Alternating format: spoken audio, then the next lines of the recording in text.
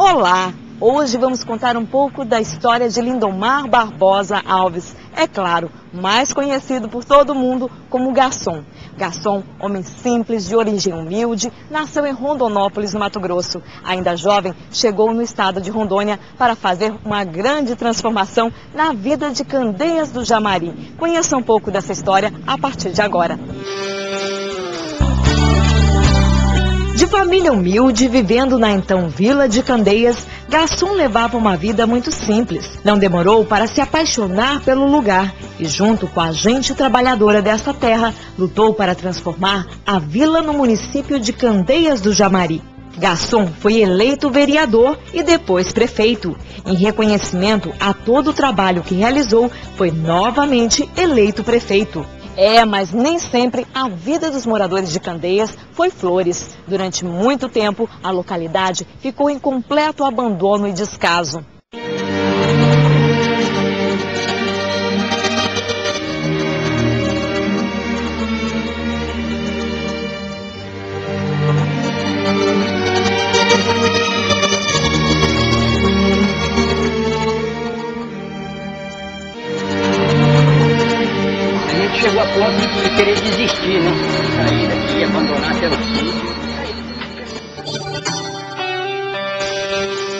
Uma das principais conquistas de Garçom, junto com o povo de Candeias do Jamari, foi levar água abundante e de qualidade a todas as casas.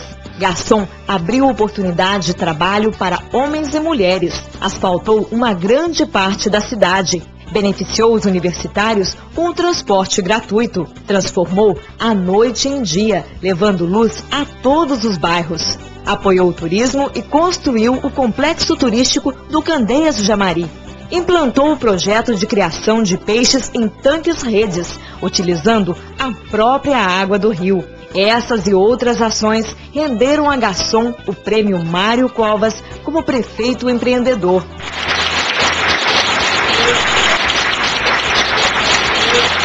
Como resultado de todo o trabalho que realizou em Candeias do Jamari, Garçom foi eleito deputado federal. Garçom destinou de Brasília, através de suas emendas, mais de 2 milhões de reais para o governo do estado realizar obras de asfaltamento dos bairros Satélite e Santa Letícia. E não parou por aí. Garçom também destinou, através de suas emendas, recursos para a Prefeitura de Candeias realizar obras de asfaltamento nos bairros Palheiral, Novo Horizonte, União das Flores e Santa Isabel. E não acabou não. Com emendas de Garçom, estão sendo recapeadas diversas ruas do município. A exemplo das ruas Francisco Nonato Pensador, Ayrton Senna, Transcontinental, Rua da Praça, Setor Comercial e outras. E tem mais obras de asfaltamento e calçada na rua Castelo Branco e parte da rua Rio Branco. E as obras da continuidade de bloqueteamento do restante da rua Rio Branco já estão contratadas. Em breve serão iniciados os serviços. Por que o bairro se chamou de Santa Letícia? Em homenagem à, filha do nosso deputado Lino Magasson, que faleceu, né? E aí ele, como ele ajudou tanto a gente aqui a ganhar essa, essa área, aí foi colocado, os próprios moradores é, é, colocaram o nome bairro Santa Letícia. Então eu só tenho a agradecer sempre ao Lindomar Garçom pelo asfalto que vocês estão vendo aí, ó. Que ele, através de emenda dele, junto ao governo do estado, conseguiu trazer para nós esse benefício que todo mundo esperava. E foi bom, foi muito bom esse, esse asfalto pra gente aqui. Ô garçomzão, muito obrigado aí, cara, pelo que você tá fazendo pelo bairro Santa Letícia, viu? O complexo turístico Cartão Postal de Candeias e que passou muitos anos em completo abandono está sendo recuperado e receberá uma fonte luminosa, bem como o mastro da bandeira na entrada da cidade, pavimentação do espaço cultural do complexo turístico, reforma dos quiosques e duas pontes pêncil. Eu sei que vocês têm um recurso pequeno, mas com tanta obra assim, como é que é possível? Bom, é possível primeiro trabalhar com parceria. E é exatamente com essas parcerias, junto com, o deputado Garçom, que é um dos padrinhos principal aqui, é que nós estamos realmente é, transformando esse município de uma maneira muito rápida e muito transparente. O bairro Santa Letícia sempre sofreu com alagações Casos como o da dona Cleonice são comuns no período das chuvas. Eles moram praticamente dentro da água. E quando chove, alaga tudo isso aqui. Alaga tudo isso aí. Não dá conta disso com a água. Não dá conta da água, não. Aqui os vizinhos aqui fica tudo alagado. Fica tudo alagado, tá? Tudo... Desde lá de cima... Desde lá de cima até pra baixo. Todo mundo na água. Todo mundo dentro da água. Meio, na, nadando, quase, vou dizer, quase nadando dentro da água, né? Quase pra sair de barco de dentro de casa. é, é, garçom, é, dá uma ajuda aí pra gente pra melhorar essa situação que tá meio feia.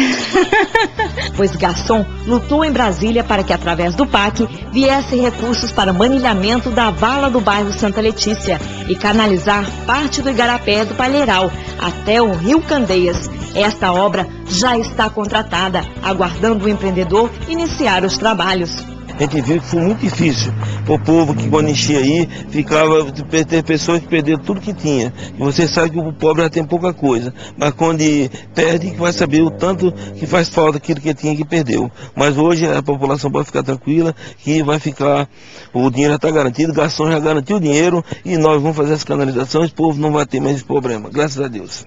É, e não parou por aí não. Tem muito mais ainda por vir. Agora vocês vão ver as obras que já estão aprovadas e entrarão em execução após o período eleitoral.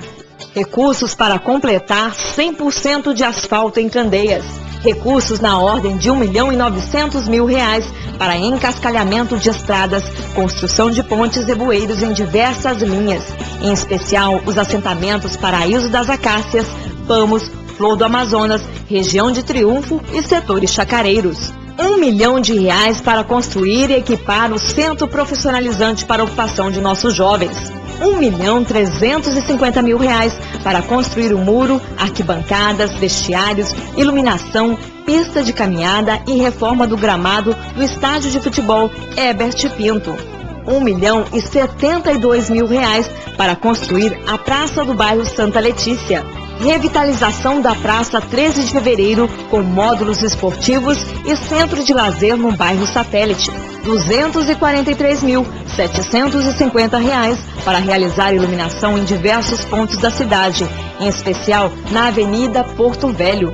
545 mil reais para construir duas quadras poliesportivas cobertas, sendo uma delas no bairro Palheiral. O nosso município está de parabéns, porque nós, na eleição passada, conseguimos eleger o nosso deputado federal Garçom, que tem sido um irmão, um parceiro desse Candeias, um homem que conhece isso aqui desde a época que ele foi vereador, de, prefeito por dois mandatos e deputado federal. Hoje nós estamos asfaltando 100% do município de Candeias, graças ao deputado federal Garçom, que é parceiro do prefeito Dim também.